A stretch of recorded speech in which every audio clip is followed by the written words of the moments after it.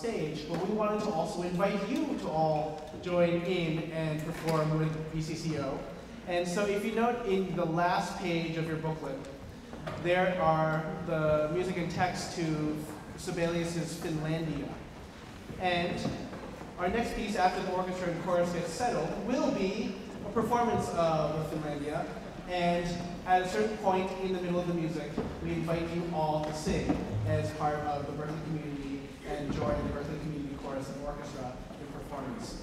After that, we'll be followed by Chichester Psalms by Leonard Bernstein, one of America's greatest composers and conductors, longtime music director for the New York Philharmonic, a brilliant, brilliant educator as well as a, um, uh, a musician uh, himself. And it's one of my favorite pieces, but also I feel it's a little bit symbolic of this concert and our organization. Because Bernstein's music has this infectious energy which uh, the chorus has as well. But in addition, he was influenced by all these things around him, truly American experience. He was influenced, of course, by Bach and Brahms, the contemporary composers of the day, like Copland and Stravinsky. But he also was influenced by jazz. He was also, as you know, a fantastic composer for musicals, with West Side Story, and uh, had many, many talents and ideas. He wrote for the movies as well, and all of those influences went into his music. He took a sabbatical from the New York Philharmonic for a year, and he was going to try to produce a new musical. And the musical just didn't go anywhere. It wasn't produced. The music wasn't very inspiring for him. And so he ended up with a lot more free time to expect. And a choral festival in England contacted him randomly and fortuitously and said, we would love it if we could commission you to write a piece. And he said to himself, you know what, I have all this music that I wrote for this musical. Why don't I just use that music and create a choral work for this festival? And so, Chichester Psalms, which many regard to be a fantastic 20th century masterpiece, was written on the basis of these musical tunes uh, that Bernstein uh, wanted to use for a Broadway musical and could never realize. And so he incorporated, obviously, a lot of these classic themes, inspiration from the Old Testament, these musical themes from uh, the Broadway musical that he was going to write, including jazz influence and percussion all over the place. And he created a truly American sort of mixed melting pot experience, his life, you know, written down on paper. And BCCO is very much like that. We feel like we have all these people coming together, and we are uh, um, very excited on Mondays because even though we have all completely different experiences and lives, we unify ourselves together on Monday to perform these great works.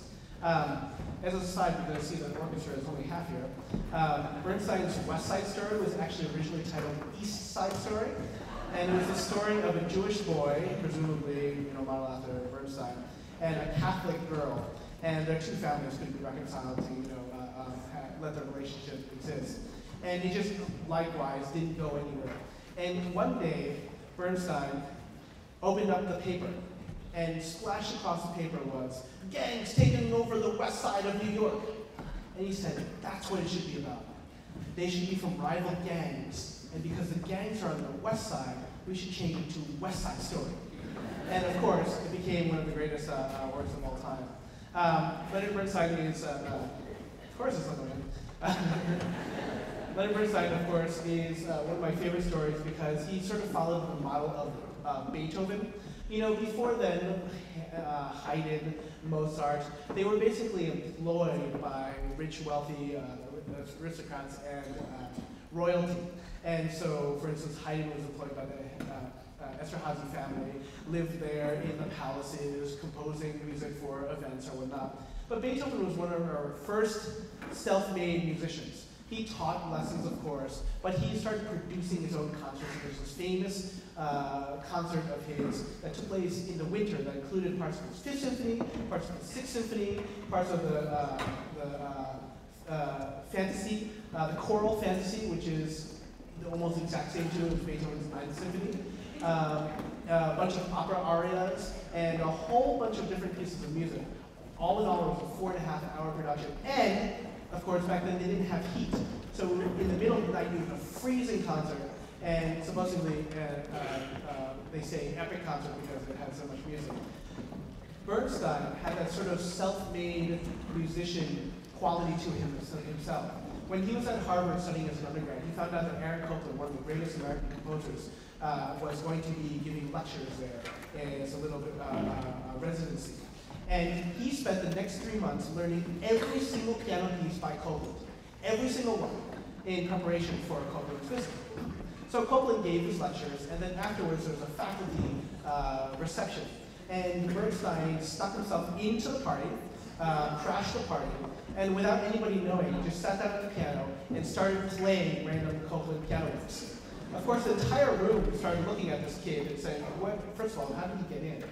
Um, but what, what, are you doing? And Copland went up to him and said, you know, wow, that, that's great. That's, that's better than I can play. What, what are you doing here? um, and thus, you know, Bernstein basically made his connection to Copland, and they were longtime colleagues and friends and uh, musicians. Um, so now that the orchestra is here, um, and of course is here, and you're all here, we're going to. Uh, We'll start with Finlandia. As you know, this helps tell you when to come in. So I will turn away towards you and give you a big cue when we start the big tune, the very famous work. Um, one funny thing is that uh, uh, Sibelius wrote this very, very quickly for a political demonstration, uh, sort of the same way that Tchaikovsky wrote the March Slav. And it instantly became a worldwide hit because uh, uh, Russians were having a lot of political influence in, in, in Finland and um, political tensions were very high. And even though craft-wise, it's actually a very lopsided piece, it's, it's, it's a little bit odd, um, it became one of his uh, most treasured pieces. And as, though it's not the official anthem, uh, um, national anthem of Finland, it's their uh, national anthem in their hearts. And so obviously it is very popular there too. But please join with us um, at the appropriate time.